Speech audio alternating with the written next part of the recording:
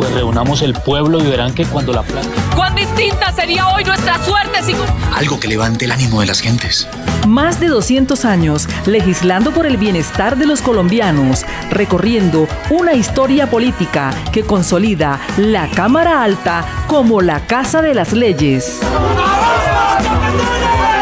Este es el lugar donde se presentan, debaten y aprueban las normas.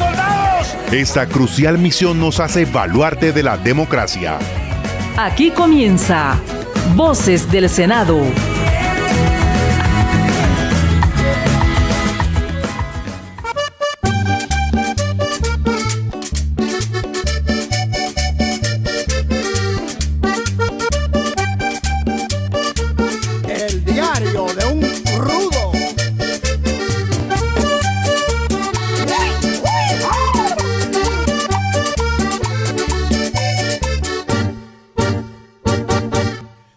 Tuviera tequila y los ríos tuvieran ron, yo me pasaría la vida. Buenos días, amables oyentes de Radio Nacional de Colombia. Regresamos nuevamente y con mucho orgullo para llevarles toda la información legislativa del Senado de la República a través de Voces del Senado. Saludo a mi compañero Enrique Castañeda. Buenos días. Elfi, buenos días para usted y para todos los oyentes que a través de las 53 frecuencias de la Radio Nacional de Colombia nos están acompañando el día de hoy. Bueno, y hoy sábado 24 de septiembre, Elfi, tenemos muchos temas que estaremos tratando a lo largo de Voces del Senado. Así es, Enrique, estaremos hablando de un tema importantísimo como es el presupuesto vigencia 2023, la reforma agraria, la reforma política y unas reacciones del discurso del presidente de los colombianos, Gustavo Petro, ante la ONU. Bueno, el pasado 21 de septiembre se aprobó en las comisiones terceras y cuartas de Senado y Cámara el presupuesto para el año 2023, que fue por cerca de 405 billones de pesos. Después de un agitado debate entre los miembros de la Comisión de Presupuesto, de las comisiones de presupuestos de tercera y cuarta económicas conjuntas del Congreso, pues llegaron a aprobarlo y, finalmente se aprobó, como usted dijo, Enrique, en más de 405 billones de pesos, por lo cual el titular de la cartera de Hacienda, José Antonio Campos, mostró su complacencia con el legislativo por aprobar este proyecto que beneficiará más que todo al sector educativo y al sector de agricultura. La iniciativa pasará a plenarias de Senado y Cámara, donde será aprobado y conciliado el articulado final para después pasar a sanción presidencial. Pero la información completa con Elfi Galeano Villera. Luego de un extenso análisis en las comisiones económicas conjuntas del Congreso, se aprobó en primer debate el proyecto de presupuesto general de la Nación vigencia 2023 por más de 405 billones de pesos. El senador Sami Merek del Partido Conservador expresó su satisfacción porque las propuestas fueron socializadas con las regiones. La claridad que le está haciendo Planeación y Hacienda al departamento de Risaralda frente a un proyecto muy importante que la bancada entera hemos defendido, que es el hospital de alta complejidad, que no es solamente para Risaralda, sino para toda la región. Hoy desde acá quiero darle la tranquilidad a Risaralda de que esos recursos ya quedaron incorporados en el presupuesto para el 2023. Digamos que hay hubo, eh, un error de parte de algunas personas que no involucraron esa necesidad que se tenía y ya quedó resuelto. Segundo, si hay partidas, ministro y presidenta, que, que están con un rubro de cero para el 2023, partidas muy importantes, muchas de ellas en agricultura y en todos los otros sectores que, como lo dice mi colega Efraín, esperamos se corrijan en el camino. Efraín Cepeda, senador del Partido Conservador, enfatizó la importancia que beneficia a los sectores más necesitados. Lo primero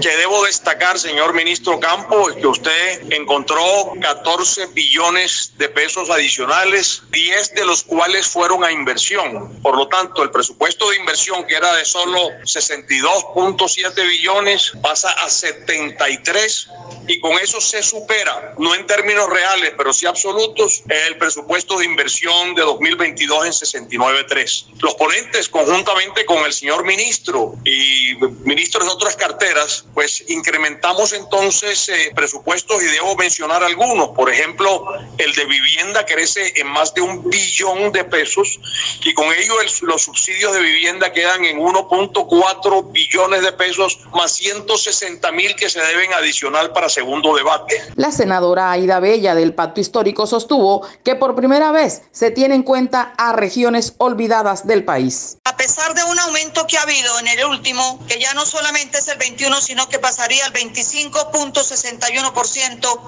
creo que el Guainía, por ejemplo, hablando con la gente de la región, el aeropuerto de Barranco Minas, donde hay minas realmente de oro y de otras cosas que están sacando ilegalmente y que valdría la pena rescatarlos para el presupuesto de la nación. Pero igualmente yo creo que aquí hay cosas realmente impresionantes. En ningún presupuesto estuve durante cuatro años, no vi la preocupación por el campo y el campo realmente tiene aquí un puesto especialísimo, no solamente las vías terciarias, sino también en vías que interconectan departamentos. El proyecto de presupuesto general de la Nación pasará a segundo debate en plenaria de ambas corporaciones. Para Voces del Senado, Elfi Galeano Villera. Voces del Senado. Están escuchando Voces del Senado. Seguimos a esta hora en Voces del Senado y la ministra de Agricultura, Cecilia López Montaño, dijo que el gobierno tratará de que el sector rural sea una sociedad de derecho con una gestión sostenible para garantizar la seguridad alimentaria. Enrique. Sí, señora, fueron varios los temas que tocó la ministra en la Comisión Quinta. Habló de seguridad alimentaria, habló de un tema que está en boga en estos días, Elfi, también la invasión de los terrenos. Varios de los senadores mostraron su preocupación porque en varias regiones del país se está presentando esta problemática. La titular de la cartera agropecuaria, la ministra Cecilia López, eh, indicó que la reforma se basa en cinco áreas básicas. Dio muchos lineamientos eh, de los cuales seguirá directamente la cartera de Agricultura. Pero la información ampliada no la trae nuestro periodista Enrique Castañeda. La sesión se enfocó en los lineamientos del Ministerio de Agricultura sobre la reforma rural agraria. En su presentación, la ministra Cecilia López dio a conocer los cinco puntos básicos en que se basa la reforma, los cuales son la reforma integral para la paz total, los campesinos, comunidades indígenas, negras y otros grupos étnicos como eje central para esa transformación, temas ecológicos y la regeneración de los ecosistemas, cadenas productivas y enfoque territorial. Los campesinos, las comunidades indígenas, negras y otros grupos étnicos como el eje central para esta transformación, donde el tema de los derechos es fundamental, pero con un Estado jugando un rol protagónico. El tercero son los temas ecológicos y la regeneración de los ecosistemas, para lo que el presidente ha llamado la agricultura para la vida, y con un tema que cada día toma más importancia, que es el ordenamiento en torno al agua. El tema de la innovación, infraestructura, extensión agropecuaria, crédito de manejo de tierras, todo ese paquete que no puede estar ajeno a dónde se está haciendo el esfuerzo de la tierra y finalmente un tema central de este gobierno que es el enfoque territorial. Por su parte, el senador del partido Alianza Verde, Intias Prilla, manifestó que hay que lograr una seguridad alimentaria y una política pública que logre un descenso en el costo de los alimentos, sobre todo en los estratos populares. Otro tema absolutamente coyuntural que también demuestra, digamos, un conflicto latente en la sociedad colombiana, que ha sido, digamos, las recientes, podríamos calificarlo de, de invasiones o intervenciones de, de comunidades en tierras sobre las cuales no está claro, y ahí también que decirlo, no está claro la propiedad en algunos casos, en otros casos sí está claro, y eso se marca dentro de un problema mucho más general y acá, digamos, va una de las partes esenciales del debate, el problema de la propiedad rural en Colombia. El senador Andrés Guerra del Centro Democrático se refirió al tema de la invasión de tierras en varias regiones del país, indicando que afecta a ganaderos y cultivadores en diferentes zonas del territorio nacional en los diferentes territorios, ni en los 12 departamentos en los cuales ya hoy hay invasiones, ningún escenario diferente a tratar de concertar, porque es claro que el tema de invasiones es una bomba social, una línea delgada, doctor Pablo, línea delgadita. Este país se ha prendido en varias ocasiones por el tema de tierras.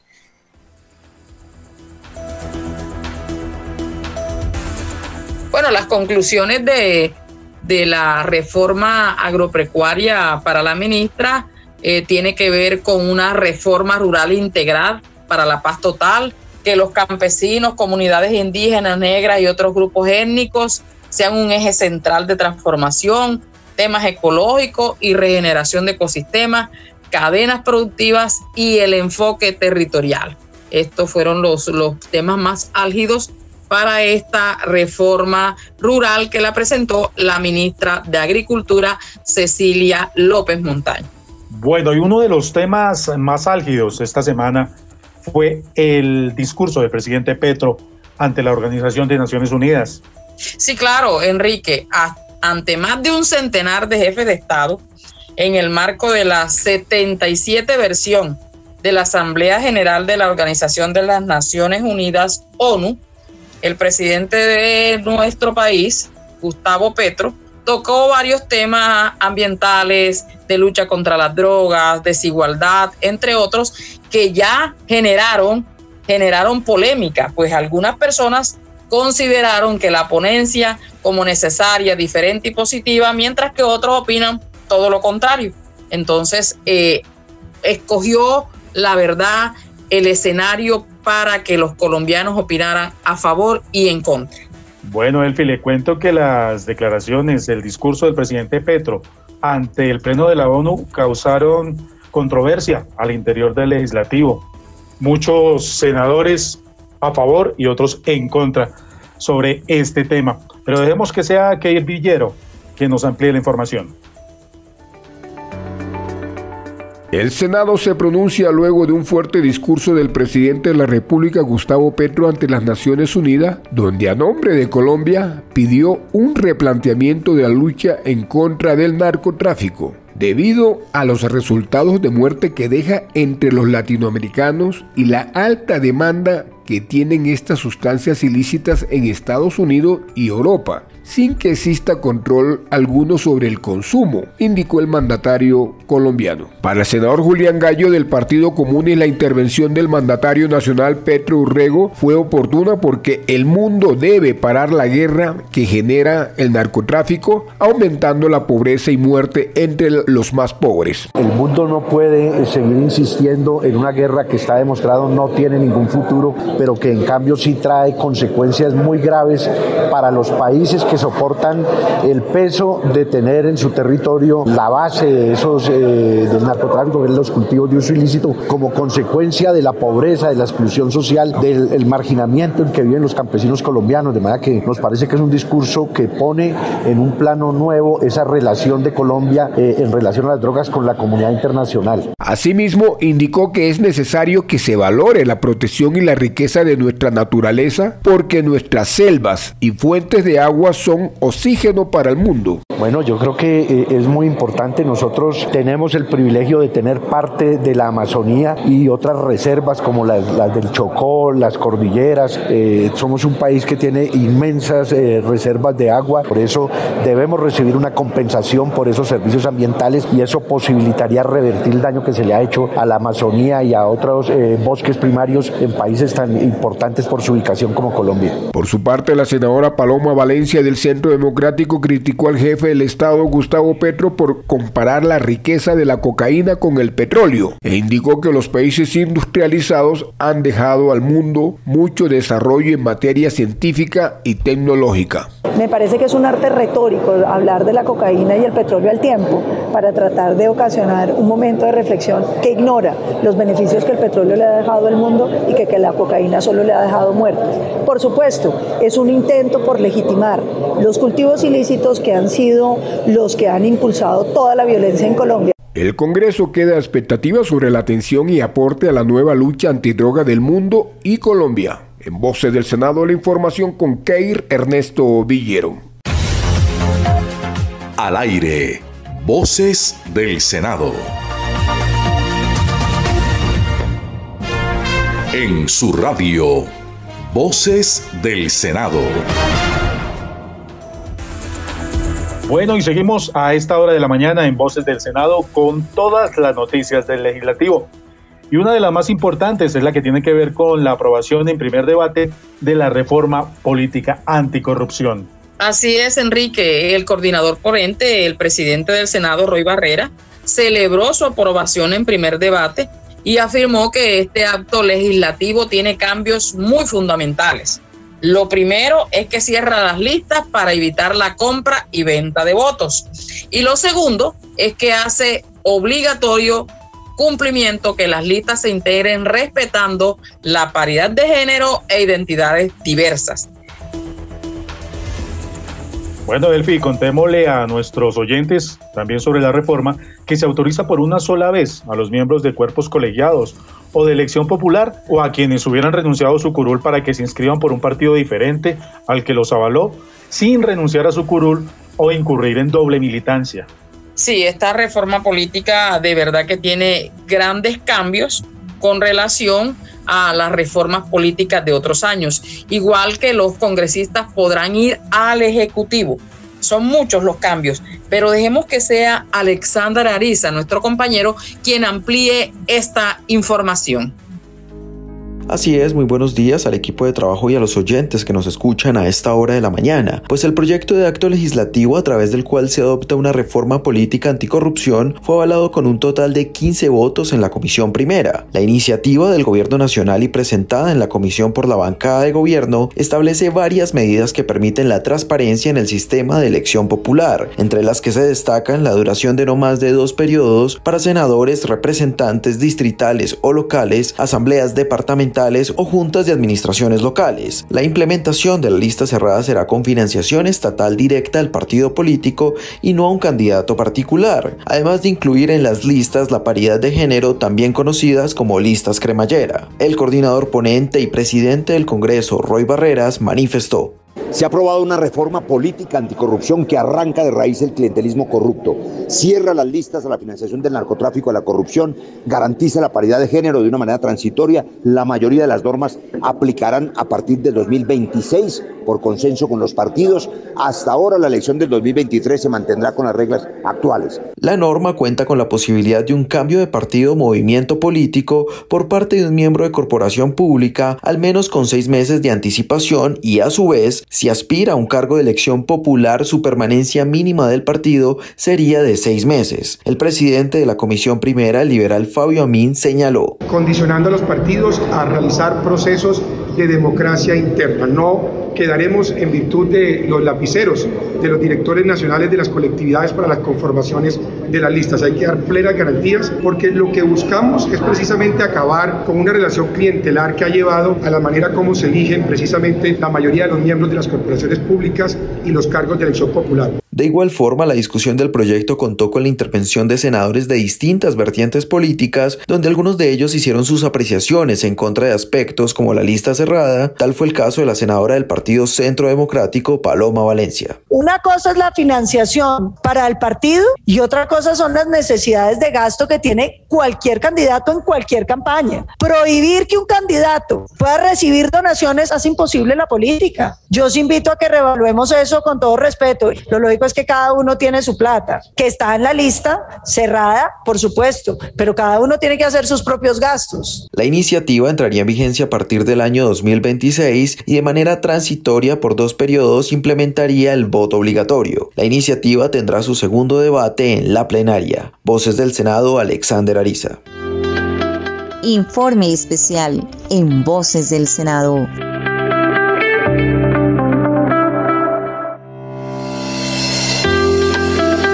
Para garantizar la seguridad de los menores de edad, la plenaria del Senado de la República aprobó en segundo debate el proyecto de ley por medio del cual se establece el proceso administrativo por el incumplimiento injustificado al régimen de visitas en favor de los niños, niñas y adolescentes. La medida busca establecer un proceso administrativo para abordar y regular el tema de los incumplimientos no justificados y así evitar que quienes se encuentren más afectados como lo son los hijos e hijas salgan lastimados. La senadora del Partido Centro Democrático, María Fernanda Cabal, en calidad de ponente, afirmó. ¿Cuál es el objeto del presente proyecto?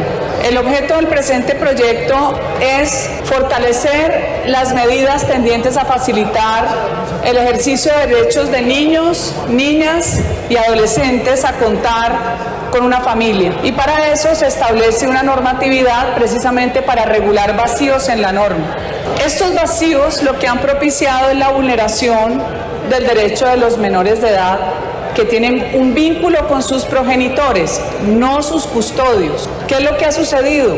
En algunas circunstancias de separación de los padres, empieza la disputa entre unos y otros a pesar de que ambos tengan la patria potestad, el uno evitar las visitas del otro. De esta manera se garantiza el derecho de visita tanto de padres a hijos como de hijos a padres, así lo explicó la senadora María Fernanda Cabal. Como no existe una normatividad vigente que proteja esos derechos de los niños, a que lo visite uno de sus padres porque el otro se opone. El derecho de visitas es un derecho familiar y los titulares son tanto los padres como los hijos. Por eso aquí no queremos solo dejarlo en el derecho de ese padre a ver a su hijo, sino el hijo a tener a su padre, sea cual fuere, que terminó en esa disputa familiar por no permitirle las visitas. La medida continuará su trámite en tercer debate de la Comisión Primera de Cámara. Informe especial en Voces del Senado.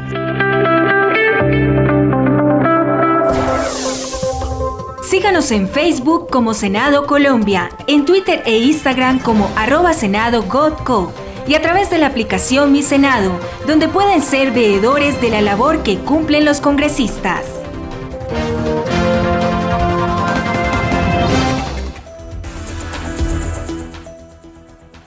Bueno, Elfi, llegamos a la parte final de Voces del Senado, este espacio con el cual queremos contarles a ustedes toda la actualidad legislativa de la semana. Elfi. Así es, Enrique, pero no nos vamos a despedir sin antes saludar a los oyentes, a los fieles oyentes que nuevamente nos acompañan en este programa que iniciamos hoy, que retomamos hoy en los departamentos de Cesar, Córdoba, Valle del Cauca, en Ibagué, en Baupés, en Bichada, en Magdalena y en Ovejas en el departamento de Sucre. Ellos todos los sábados y los domingos nos escuchan en el horario de 7 y media a 8 de la mañana.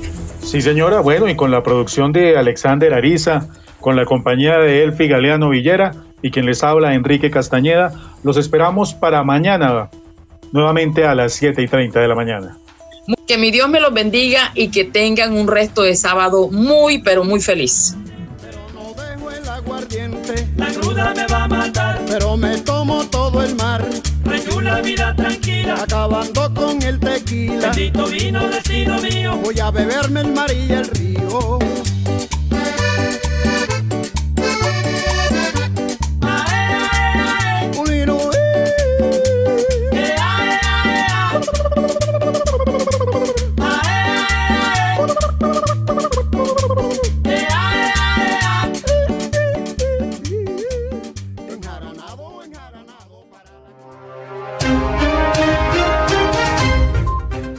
Del Senado. Iniciativa de la mesa directiva en cabeza del presidente Roy Leonardo Barreras. Primer vicepresidente Miguel Ángel Pinto. Segundo vicepresidente Honorio Enrique Pinedo. El secretario general Gregorio El Hash Pacheco y la directora administrativa Astrid Salamanca Raín.